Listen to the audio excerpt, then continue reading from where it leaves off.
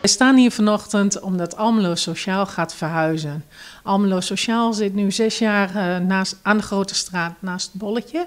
En het pand wordt een beetje te klein. Zeker met corona, dan is het niet meer veilig. Um, we kregen de kans om hier naartoe te verhuizen. We hebben hier nieuwe spreekkamers, nieuwe werkplekken. Dus um, veel prettiger waarschijnlijk. Ja, en Almelo Sociaal, wat houdt dat eigenlijk in?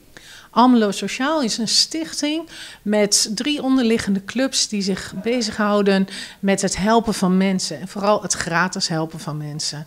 We hebben uh, de Adviesraad Sociaal Domein, die praat met de gemeente namens de burgers van Almelo. We hebben de ouderenbonden die verzameld zijn in de Cosbo.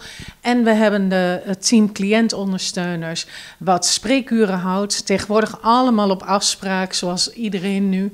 En uh, zij helpen met alle vragen. Dus alles over geld, zorg en wonen.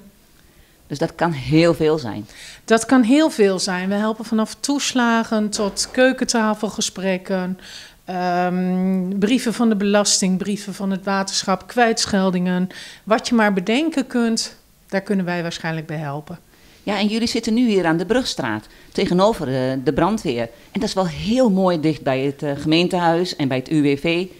Ja. En ik heb zelfs begrepen dat hier een uh, bushalte voor de deur is. Dus dat moet heel fijn zijn voor de mensen. Wij zijn heel blij dat we zo centraal terecht zijn gekomen. Dat uh, mensen kunnen hier gewoon binnenlopen. Het is ook een stuk anoniemer. Aan de, naast Bolletje was het toch echt duidelijk dat je binnenloopt bij Almelo Sociaal.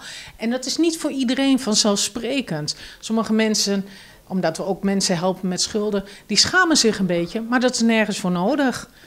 Ja, want hier zitten nog veel meer bedrijven in dit pand. Hier zitten volgens mij uit mijn hoofd 53 ondernemers die zich bezighouden met van alles en nog wat. Uh, uh, ik heb uh, uitzendbureaus gezien, de tekstschrijver die zorgt dat wij eh, in de krant komen met onze column, die helpt daarbij.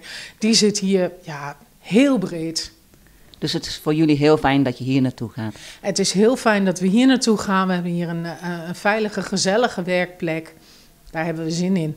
En ik zie ook dat uh, het is nog niet helemaal klaar. Hè? De, de verhuizing is vanmorgen begonnen. Maar wanneer denken jullie weer hier voor de mensen beschikbaar te zijn? Um, nou, zodra de telefooncentrale werkt, uh, zijn we weer bereikbaar en kunnen er weer afspraken gemaakt worden. Onze cliëntondersteuners werken allemaal met laptopjes, dus die kunnen eigenlijk bijna vanaf dinsdag, woensdag aan het werk.